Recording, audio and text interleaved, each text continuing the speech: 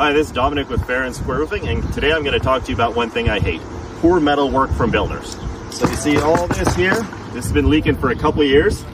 Uh, be nice, I did this as a free fix for someone I know a couple years ago. This sort of solved the problem, but the real problem is below. So soon we're gonna figure out what's under here. We're gonna uncover this, remove some siding, and fix this whole thing, so no one ever has to come up on this roof again to fix this.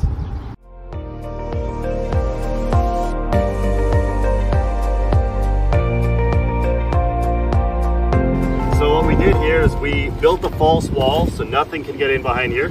We put ice and water shield around the whole perimeter of the chimney. We put it up the wall, up the whole siding, because I want to do things properly the first time and never come back here. And we also built a bit of a mini saddle here. So when water goes down here, it's gonna go down here and then also drain right away from there. Before it was actually getting into the hole and leaking down into there. So we'll show you final pictures later and then we'll be all done.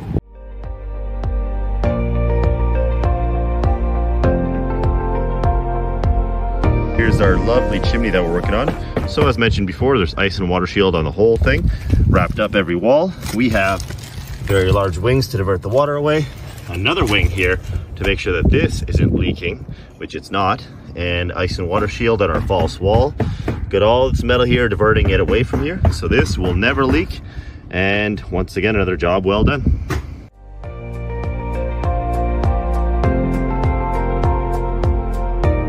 So we wrapped a self-adhering ice and water shield underneath all this metal and siding and shingles. That's the first thing we did. The water, the chimney was waterproof at that point.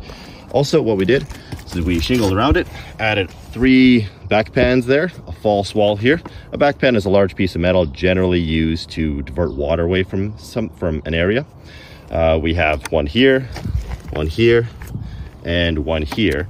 And with our very, we have them with our very large wings also and this is not gonna cause an issue